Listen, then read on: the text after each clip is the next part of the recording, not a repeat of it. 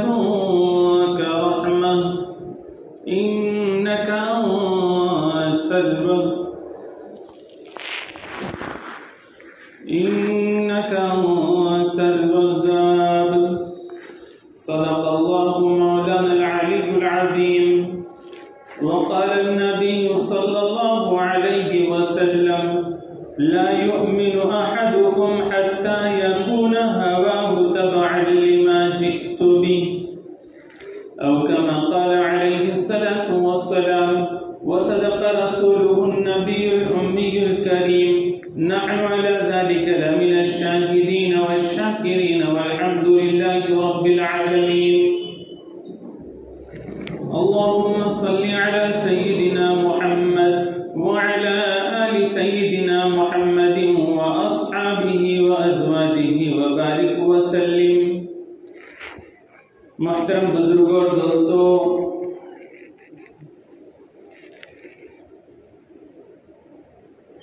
एक मुसलमान की ज़िंदगी पूरी की पूरी अल्लाह की बंदगी में गुजरना चाहिए। और चूँकि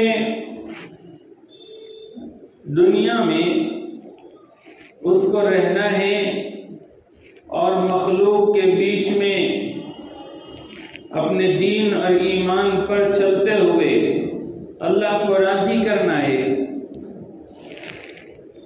तो दुनिया के बीच में रहते हुए उस पर जो बुरे असरात पड़ते हैं और उसकी अमली ज़िंदगी और उसके एतक़ाद पर जो ज़रब पड़ती है और उसके नतीजे में एक मुसलमान अपने इस्लाम वाली ज़िंदगी को छोड़कर गैर इस्लामी ज़िंदगी जीने लगता है तो इस वजह से अल्लाह ताला ने साल में एक महीना माह रमज़ानुल मुबारक का रखा है, ताकि उसके ज़रिए से साल भर में ग्यारह महीनों में जो गंदगी और जो बेअमली और जो इस्लाम के खिलाफ चीज़ें एक मुसलमान में घुस गई है या उसमें रच बस गई है तो एक रमज़ान के एक महीने की ट्रेनिंग से और एक महीने के मुजाहिदे से और एक महीने के आमाल के ज़रिए से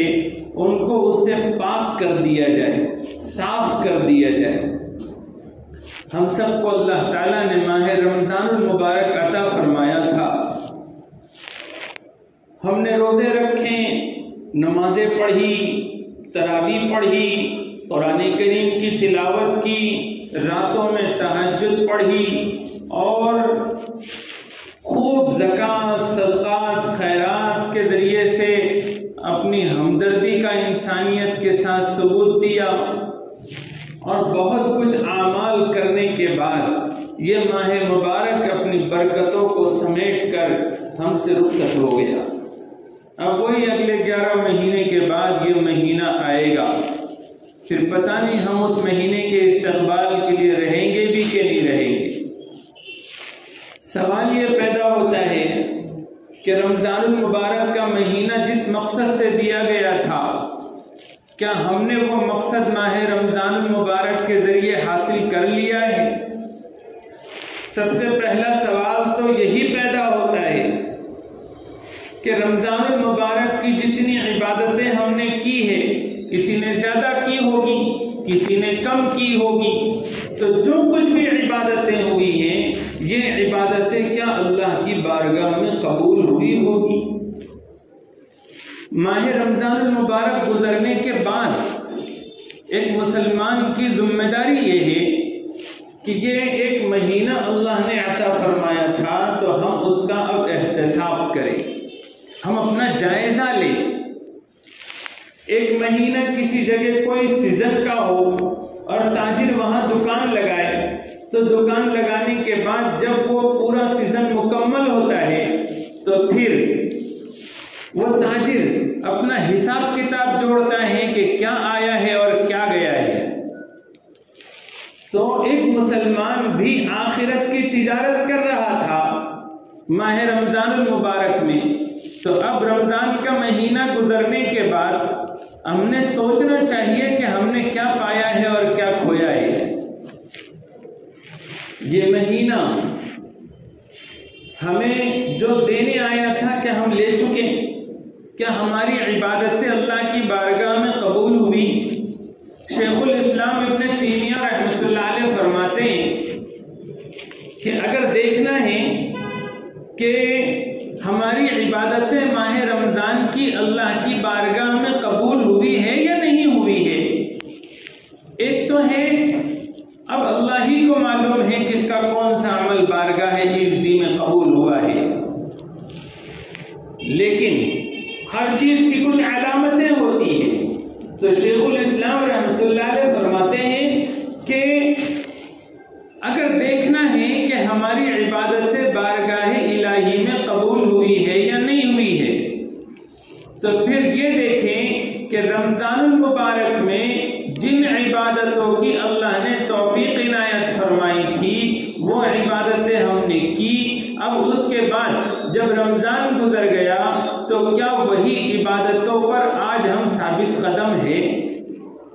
वो इबादतें चल रही है ग्यारह महीने तक। अगर रमज़ान के बाद में ज़िंदगी बदल गई है और दर हकीकत माह रमज़ान मुबारक ये ज़िंदगियों को बदलने का महीना है।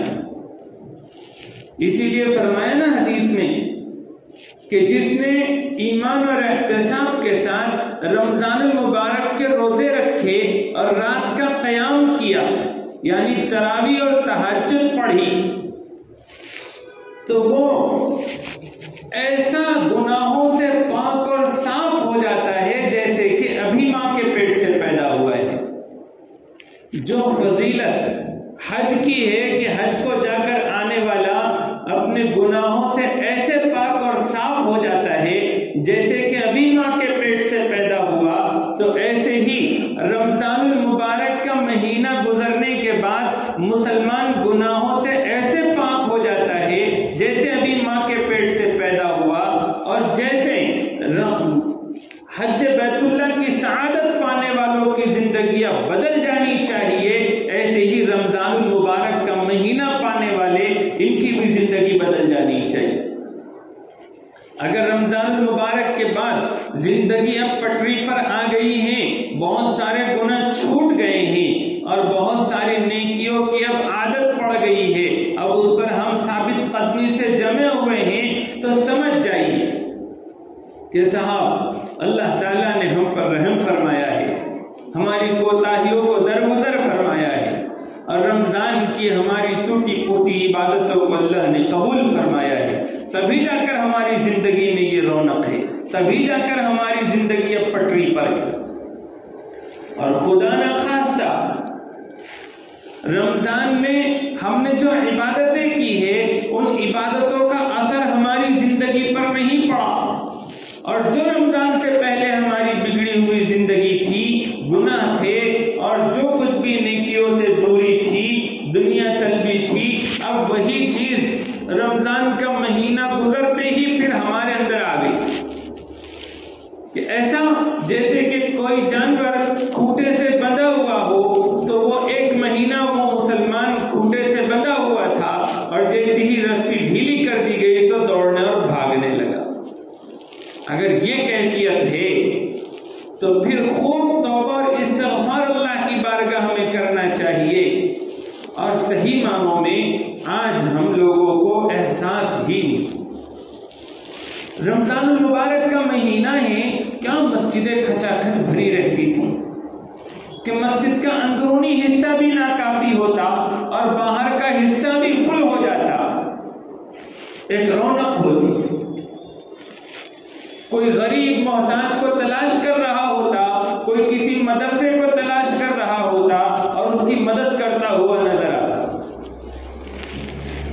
एक अजीब इबादतों की ज़िंदा बनी हुई लेकिन जैसे ही रमज़ान मुबारक का चाँद हमने देख लिया और दूसरे दिन हमने ईद की नमाज़ पढ़ ली तो ईद की नमाज़ के बाद ही से बाद लोगों की ज़िंदगी एकदम पहले वाली पटरी पे आ जाती पहले वाली तरह से ज़िंदगी उनकी हो जाती। फिर से नमाजें रुखसत, मस्जिदें फिर तरसती रहती है। और मस्जिदों के अंदर वो जो एक तादाद नज़र आती थी, अब वही एक, डेढ़, दो, तीन, चार सब में तब्दील हो जाती। ऐसा लगता है कि जैसे रमज़ान मुबारक में जो हमने इबादतें की है और जो अल्लाह के सामने मुजाहिदे किए हैं तो रमज़ान की ईद हमने पढ़ ली उसके साथ ही वो सारी इबादतें भी हवा हो गई उसका कोई असर अब हमारी ज़िंदगी में नहीं सवाल पैदा होता है कि साहब अब अगर हमारी ज़िंदगी बदल गई है तो हमने तो शुक्रगुजारी करनी चाहिए अल्लाह ताला ने हमारी इबादतों को कबूल फरमा लिया है और अब अपनी एक नई है तो बड़ी एहतियात के साथ हम अपनी ज़िंदगी गुजारें। और अगर खुदा न खास्ता, हमारी कैफियत बिल्कुल अलग है कि हम वही पुराने बेढंगे मुसलमान बने हुए हैं रमज़ान के कोई भी चमक और रमज़ान का कोई भी रंग हमारी ज़िंदगी में नहीं है तो फिर अब हमने क्या करना चाहिए साहब रमज़ान की इबादतें हमने की लेकिन फिर भी हमको कुछ नहीं मिला क्योंकि हुजूर सल्लल्लाहु अलैहि वसल्लम ने फरमाया है कि बहुत से लोग ऐसे हैं कि जो रमज़ान में रोजा रखते हैं तो उन्हें सिर्फ़ भूख और प्यास के सिवा कुछ नहीं मिलता और जो रात को तरावी में और तहजद में खड़े रहते हैं उन्हें सिर्फ़ मशक्कत के सिवा कुछ नहीं मिलता। अगर हम लोग ऐसे लोगों में शामिल है कि हमारी ज़िंदगी में कोई तब्दीली नहीं है, और फिर हजूर सल्लल्लाहु अलैहि पर खड़े होकर मिंबर पर जब तशरीफ़ ले जा रहे थे, पहली सीढ़ी पर आपने आमीन कहा, दूसरी सीढ़ी पर आमीन कहा, तीसरी सीढ़ी पर आमीन कहा, वो हदीस पाक तो सबको याद ही होगी। कि जिस हदीस पाक में ये बताया गया कि हज़रत जिब्राइल को अल्लाह ने भेजा और हुजूर पाक अलैहिस्सलाम को हुक्म हुआ कि हज़रत जिब्राइल की तीन बददुआओं पर आमीन कहो। उन बददुआओं में से एक बददुआ ये थी कि हलाक और बर्बाद हो जाए वो शख्स जिसको रमज़ान मुबारक का महीना मिले, लेकिन फिर भी उसकी मगफिरत ना हो। तो ऐसा शख्स जिसने कुछ गुना माफ़ नहीं करवाए रमज़ान की बरकत से। तो फिर वो इस बदुआ का मुस्तहिक बन रहा है। हमारे दरवाजे पर कोई फकीर आ जाए, चाहे वो गैर मुस्लिम ही क्यों ना हो, एक मुसलमान का दिल ऐसा है कि वो डरता है कि कहीं उसकी हाय बदुआ ना लग जाए और उसको कुछ ना कुछ देता है तो फिर हम तो हुजूर के नाम लेवा है हम लोग हुजूर सल्लल्लाहु अलैहि वसल्लम और जिब्राइल की बदुआ से क्यों नहीं डरते अगर हमारी ज़िंदगी में कोई तब्दीली नहीं है। हमारे गुनाहों का बोझ हल्का नहीं हुआ। हमारी ज़िंदगी फिर से पुरानी वाली ज़िंदगी बन गई है। तो फिर हमें डरना चाहिए। डर कर फिर क्या करना चाहिए? तो करना ये चाहिए कि कबूलियत की जो अलामत है, उन अलामतों को हासिल करने की कोशिश करें। कि रमज़ान का वो सबक है, जो रमज़ान देकर गया है, अब हम उसको बतकल्लु अगरचे के दिल में शौक शौक न हो, लेकिन मशक्कत उठाकर और तकल्लुफ के साथ और कोशिश के साथ हम उन अमाल को अपनी ज़िंदगी में ज़िंदा रखें और 11 महीने उस पर अमल करें। कहते हैं ना कि अगर दुआ में रोना ना आए तो रोने वाली शक्ल बना ली जाए। तो रोने वालों की तरह से अल्लाह ताला उनको भी अता फरमा तो जिनको रमज़ान की कबूलियत की ये अलामत दिखाई ना दे अपनी ज़िंदगी में कि अब हमारी ज़िंदगी बदल गई है तो फिर उन्होंने शक्ल बनानी चाहिए वैसी। तकल्लुफ के साथ उन अमाल को करना चाहिए। कौन कौन से अमाल? अब रमज़ान का महीना हमें नसीब हुआ था। रमज़ान मुबारक में एक अमल था रोज़े का।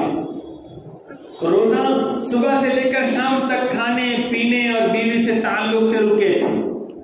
इस रमज़ान के रोजों ने हमें तरबियत की, हमें हमें नफ्स को कैसे कंट्रोल करना चाहिए, ये सिखाया। सिर्फ़ अल्लाह के हुक्म पर, सिर्फ़ अल्लाह के हुक्म पर। जी चाहते हुए भी पानी नहीं पीता, जी चाहते हुए भी खाना नहीं खाता, जी चाहते हुए भी अपने घर में बीवी है जिससे निकाह किया था, उससे ताल्लुक कायम नहीं करता। तो ये नफ्स पर कंट्रोल सिखाया गया। तो अब जब अल्लाह के हुक्म से रमज़ान मुबारक के महीने में हलाल चीज़ों से बचे थे तो अब यहाँ से आगे 11 महीने हम अल्लाह के हुक्म पर हराम चीज़ों से बचे। और उसके लिए कोशिश करें। ये समझे कि अल्लाह मुझे देख रहा है। और ये मेरे ऊपर एक फ़र्ज़ है कि मैं बेहयाई न करूँ। मैं अपने आँखों की हिफाजत करूँ, कान की हिफाजत करूँ कि कोई गिबत और चुगली मेरे कान में न पड़े। मैं अपनी जबान की हिफाजत करूँ कि जबान से सिर्फ़ जिक्रुल्लाह निकले, दीन की बात निकले, खैर और भलाई की बात निकले, ज़रूरत की बात निकले, बिला वजह गुफ्तगु करके मैं अपनी जबान को किसी की गिबत से और किसी की चुगली से और किसी की बदखाई से मैं अपनी जबान को नापाक नहीं करूँगा बचूँगा। क्योंकि एक रोजा तो वो ही, जो रमज़ान मुबारक में हमने रखा, जो सुबह सादिक से शुरू होता है, सूरज तुलू होते, होने के वक्त से, और फिर शाम में गुरूब आफ्ताब के वक्त खत्म होता है तो एक रोजा हमारा बालिग होने से शुरू होता है और ज़िंदगी का सूरज गुरूब होने पर खत्म होता है वो रोजा है हराम चीज़ों से बचने का तो हराम और नाजायज चीज़ों से बचने का अपने पेट को बचाने का अपने हाथ को बचाने का और अपने पैरों को गुनाह की तरफ़ जाने से बचाने का रोजा तो हम इस रमज़ान की जो मश्क हुई थी और जो अल्लाह ने इसके ज़रिए से सिफत तकवा नेक लोगों के अंदर डाला तो वो तो अपनी ज़िंदगी गुनाहों से बचाते हुए ग्यारह महीने गुजर जाएँगे लेकिन मुझे और आपको चाहिए कि हम बतकल्लुफ कि वो तकवा अगरचे के हमारे दिलों में उस दर्जे में नहीं आया लेकिन हम तकल्लुफ के साथ और कोशिश करके अब यहाँ से आगे ग्यारह महीने गुनाहों से बचते हुए गुजारे।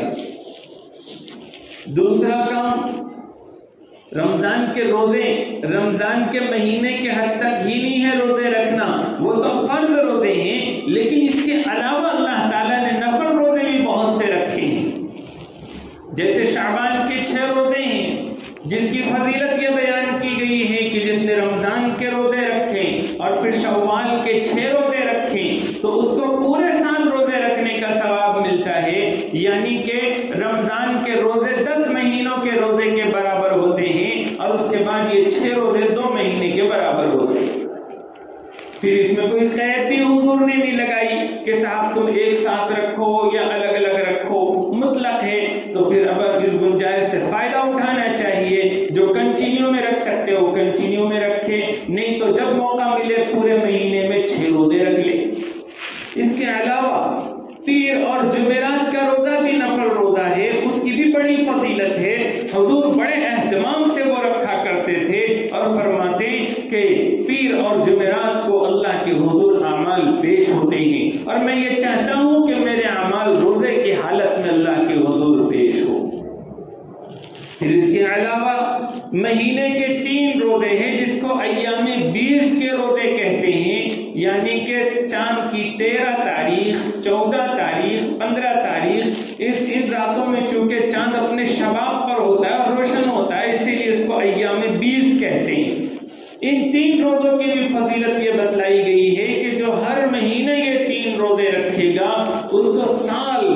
रोज़े रखने का सवाब मिलेगा। तो इन रोजों को हमने अपनी ज़िंदगी का हिस्सा बनाना चाहिए। ये बना रहे हैं तो फिर ये हमारे रमज़ान के रोजों का कुछ असर हमारी ज़िंदगी में बाकी है। फिर रमज़ान मुबारक के महीने में जो नमाजी लोग थे, वो तो थे ही नमाजों के अंदर। जो लेकिन नमाजी नहीं थे, वो भी नमाजों को आ गए थे। और ये रमज़ान मुबारक की बड़ी एक इबादत बन गई थी कि खसूसी अहतमाम के साथ नमाजें हो रही थी। अब इस खसूसी अहतमाम को रमज़ान के बाद भी बाकी रखना चाहिए। क्योंकि रमज़ान की कोई मखसूस इबादत नहीं है फ़र्ज़ नमाज़। ये तो मुसलमान की ज़िंदगी की मखसूस इबादत है। यानी मुसलमान होने की पहचान है, निशानी है। जैसे टोपी, दाढ़ी या एक मुसलमान नाम होना ये मुसलमान की निशानी है। ऐसे ही पाँच वक्त की फ़र्ज़ नमाजों का अहतमाम करना ये मुसलमान होने की निशानी और अलामत है। तो अगर रमज़ान में पढ़ते थे तो अब पढ़े, ऐसा नहीं कह रहा हूँ। मैं ये कह रहा हूँ कि हर मुसलमान ने पढ़नी ही चाहिए, लेकिन रमज़ान का असर यह होना चाहिए कि अब पिछले ज़िंदगी में जो नमाज़ थी, उससे ज़्यादा अहतमाम इस रमज़ान के बाद हमारा होना चाहिए।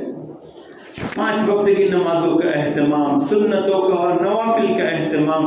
और हमने रात को तरावी की नमाज़ बीस बीस रकात पढ़ी, फिर बारह बारह रकात कही गई आठ आठ रकात हमने तहजद की नमाज़ पढ़ी और खूब इबादतें की रातों को जागकर आखिरी अशरे में तो हर रात में किसी ने और किसी ने ताकरातों में खूब इबादतों का अहतमाम किया तो अब रमज़ान के बाद हमारा ग्यारह महीने का अमल कम से कम रोज़ाना हम तहजद की नमाज़ पढ़ने का बनाए। उसकी बड़ी फजीलत बतलाई गई है। नेक लोगों की इबादुर रहमान की खास सिफत बतलाई गई है कि वो रात के आखिर पहर में उठते हैं और तहजद पढ़ते हैं। जिस किसी को भी कुछ कमाल नसीब हुआ है, वो तहजद की नमाज़ की वजह से नसीब हुआ है और तहजद की नमाज़ में कोई गफलत भी नहीं होनी चाहिए। और अगर मशक्कत, काम वगैरह की वजह से न उठ पाते हो तो उसकी आसान शक्ल ने बतलाई है। कि आखिरी पहर में उठकर आठ रकात पढ़े, आठ नहीं पढ़ सकते तो जितनी अल्लाह तौफीक दे दे, कम से कम चार रकात पढ़ ले या दो ही रकात पढ़ ले तो भी अल्लाह की जात से उम्मीद है कि तहजद का सवाब मिल जाएगा। और जो भी मशक्कत उसकी, वो जो भी मश्क कर रहा हो और आदत डाल रहा हो तहजद की तो कभी उठता हो और कभी ना उठता हो तो एहतियातन ईशा की नमाज़ पूरी होने के बाद सोने से पहले चार रकात पढ़ ले तहजद ही की नीयत से, और सुबह में जब उठ जाए तहजद में तो डबल से पढ़ ले, और उसमें गोया कि इजाफा हो जाएगा, और न उठ पाए किसी वक्त में तो इनशाला वो जो सोकर पढ़े थे, उसमें भी तहजद का सवाब मिल जाएगा। एक तो नमाजें, फिर माह रमज़ान मुबारक, ये सबर का महीना था। इसमें सबर सिखाया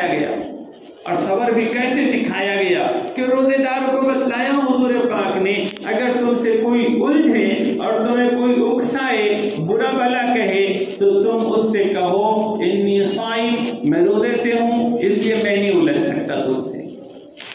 रमज़ान का महीना खाने, पीने और हर चीज़ में कंट्रोल करते हुए सबर सिखाता है। तो ये सबर का महीना था। तो रमज़ान की इबादतों का एक असर हमारी ज़िंदगी में ग्यारह महीने सबर का होना चाहिए। देखो, जो कुछ भी आज फसाद है एक मेरी अपनी ज़िंदगी में, फिर उसके बाद मेरे घर की ज़िंदगी में और मेरे परिवार में, मेरे बस्ती में, मेरे महल्ले में, मेरे मुल्क में और पूरे आलम में अगर इस फसाद की असल जड़ देखें तो दिखेगा कि सबसे बड़ा कसूर ये है कि हम बेसब्रे हो गए सबर अगर हो तो जबान पे कंट्रोल रहे, सबर अगर हो आँखों पे कंट्रोल रहे, सबर अगर हो तो हाथ पे कंट्रोल रहे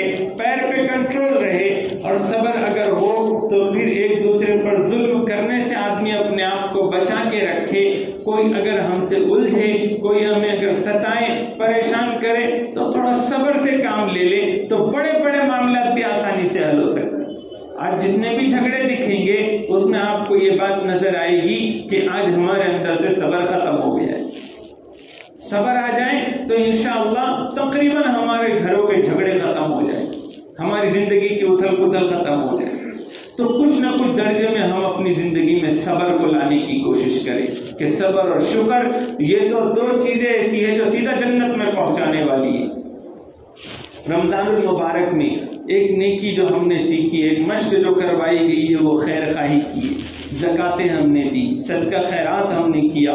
अब उसका असर ये पूरे ग्यारह महीने में होना चाहिए कि हम बड़े रहीम बन जाए, बड़े शफीक बन जाए, गरीब और मोहताजों को देखकर हमारा दिल पसीज जाए। हम हर मजबूर, हर परेशान, हर तकलीफ़ में, हर बीमार के लिए बस एक मसीहा की तरह से बन जाए। ये रमज़ान मुबारक ने हमें तैयार किया था। हम इसका असर ग्यारह महीने रखें। ये सिर्फ़ रमज़ान के तक खास नहीं था। रमज़ान में तो मश्क करवाई गई। हर इबादत की सतह को बढ़ाकर के एक मुसलमान जब 11 महीने ज़िंदगी गुजारे तो वो हमदर्द बने, वो खैर खा बने, वो किसी को तकलीफ़ में ना देख पाए, किसी का बोझ हल्का करने वाला बने, किसी की बीमारी में उसकी मदद करने वाला बने, उसकी आयादत करने वाला बने, भूखों का खाना खिलाने वाला बने, नंगों को कपड़ा पहनाने वाला बने, प्यासों को पानी पिलाने वाला बने गर्मियों के दिन चल रहे हैं। कितने लोग प्यासे भी होंगे और कितने लोग ऐसे हैं कि जिनके घर टीनों के हैं और वो उबल रहे हैं। वहाँ कोई कूलर भिजवा दिया, वहाँ कोई पंखे का नज्म कर दिया ताकि उनको राहत पहुँचे। तो ये गैर खैर खाही और गम खारी, ये रमज़ान मुबारक का महीना सिखाता है। ये साल भर का अमल है। हदीस में है ना कि हजूर सल्लल्लाहु अलैहि वसल्लम ने फरमाया कि कयामत के दिन अल्लाह ताला के हजूर एक बंदा पेश किया जाएगा। अल्लाह ताला उससे पूछेंगे कि मैं बीमार था, तुमने मेरी आयादत क्यों नहीं की? वो कहेगा कि अल्लाह, आप तो हर आयत से पाक है, आप कहाँ बीमार होंगे और आपको किस तरह से आयादत की ज़रूरत है? तो अल्लाह ताला फरमाएँगे कि फलान शख्स तुम्हारे पड़ोस में बीमार था, तुम अगर वहाँ अयादत को जाते तो मुझे तुम पाते। इसी तरह से भूखे के बारे में होगा। कि अल्लाह फरमाएँगे मैं भूखा था, तुमने मुझे खाना क्यों नहीं खिलाया? तो बंदा वही कहेगा कि आपकी जात तो पाक है और आपको तो भूख भूख प्यास लगती नहीं है। फिर आपके आपके हम कैसे मदद करते और हम किस तरह से आपको आपको खाना खिलाते? तो अल्लाह ताला फरमाएँगे कि तुम्हारे बस्ती में फुलान शख्स भूखा था, अगर तुम उसके पास जाते तो मुझे पाते इसी तरह से नंगों के बारे में भी सवाल होगा। तो ये खैर खाई का सबक हमारा होना चाहिए। रमज़ान का महीना हमें डिसिप्लिन सिखाता है, यानी कि हम नज्म और तरतीब के साथ ज़िंदगी गुजारे। हमारी ज़िंदगी में एक डिसिप्लिन हो, वक्त पर सारे काम हो तो हम डिसिप्लिन भी रमज़ान का जो सबक है वो ले के जैसे शहरी का टाइम है, जिस वक्त में शहरी का टाइम खत्म हो गया, अब बस खाना बंद करना है। और इफ्तार का टाइम हो गया तो अब देर नहीं करनी है, जल्दी से खा लेना है। तो ये डिसिप्लिन डिसिप्लिन सिखाया गया नज्म सिखाया गया। तो हम अपनी 24 घंटे की ज़िंदगी को एक तरतीब पर लाए। रमज़ान का महीना हमें इज्तमाहीत सिखाता है कि सब ही एक साथ अल्लाह के हुक्म को पूरा कर रहे हैं। तो हम लोग अपनी अमली ज़िंदगी में यहाँ से आगे की हमारे मिली मफादात हो या दीनी मफादात हो, इन मफादात के लिए इज्तमाही जद्दोजहद का नज्म हम रखें और इज्तमाहीत के साथ जुड़कर काम करने का अपना मिजाज बनाए। ताला मुझे और आपको कहने, सुनने से ज़्यादा समझने की और फिर अमल करने की तोफ़ी अता फरमाए। वहाँ से उदावन अलहमदिल्ला रबीआलमी अजान दे दीजिए।